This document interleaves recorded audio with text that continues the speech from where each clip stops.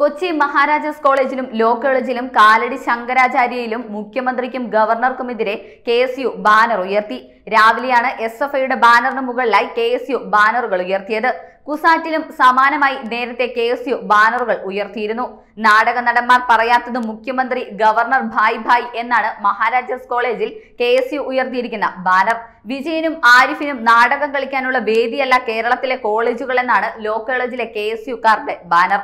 അതേസമയം കാലടി ശങ്കരാചാര്യ സംസ്കൃത കോളേജിൽ എന്ത് പ്രകസനമാണ് സംഘി സഖാക്കളെ എന്നാണ്. ബാനർ മുഖ്യമന്ത്രി പിണറായി വിജയനും ഗവർണറും തമ്മിലുള്ള പോരാട്ടം കലുഷിതമാകുന്നതിനിടെയാണ് ഇരുവർക്കുമെതിരെ കെ ക്യാമ്പസുകളിൽ ബാനറുകളുമായി എത്തിയിരിക്കുന്നത്.